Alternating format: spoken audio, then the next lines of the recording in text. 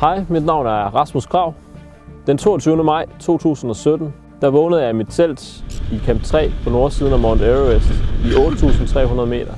Det havde været en lang kold nat, og jeg havde brugt det meste af natten på at få øh, følelsen tilbage i mine hænder og fødder. Jeg havde øh, smeltet sne og fået drukket en masse vand.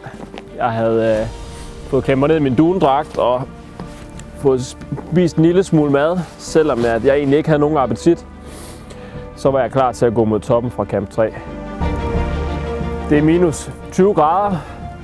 Der er kun en let vind, men det, den lille vind betyder stadigvæk, at det føles som øh, minus 35-40 grader. Jeg har nu været i gang i cirka 5 timer, og jeg er nået til first step, den første tekniske udfordring. Det er her, man skal tænke på, at øh, lige nu er der kun en, øh, en tredjedel af ilten til rådighed, som der er her ved havniveau, jeg har en kæmpe stor bamsedragt på, og så skal jeg til at, at klatre op ad et område, der næsten er lodret.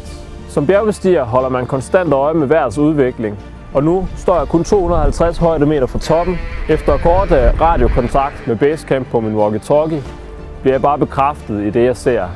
En kraftig storm er trukket op, og jeg bliver derfor nødt til at tage den svære, men eneste rigtige beslutning og vende om.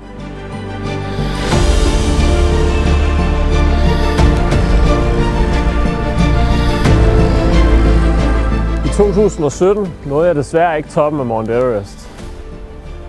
Men en drøm, jeg ikke rigtig kan give slip på, og derfor har jeg besluttet mig for at vende tilbage i 2018. Det at bestige Mount Everest fra nordsiden og uden brug af kunstig ild, det er en kæmpe sportslig præstation. Og det er i sig selv et fuldtidsjob at forberede sig fysisk til udfordringen. Jeg vil så inderligt gerne tilbage og opleve de sidste 250 meter og stå på toppen af verden som den første dansker uden kunstig ilt. Men det kan jeg ikke gøre alene, så det har jeg brug for din hjælp og opbakning, så vi sammen kan plante Dannebro på toppen af verden. Jeg har valgt at crowdfunde en del af min ekspedition, så du nu har muligheden for at blive en del af rejsen.